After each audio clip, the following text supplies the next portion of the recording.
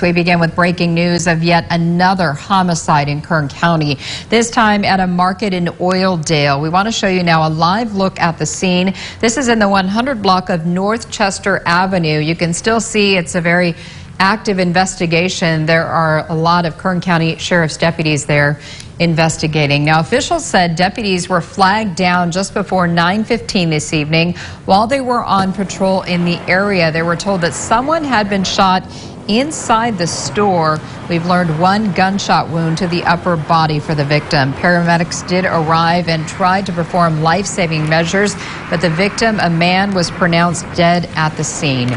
Witnesses say that those involved may have fled in a black Honda Accord and they said they went eastbound on McCord Avenue. A female and two possible males inside, according to witnesses. We Authorities did find a weapon on scene, but it's unknown if it was the firearm used in the crime, whether it belonged to the suspect or perhaps to the victim who may have been trying to defend himself. We'll bring you new details as we get them.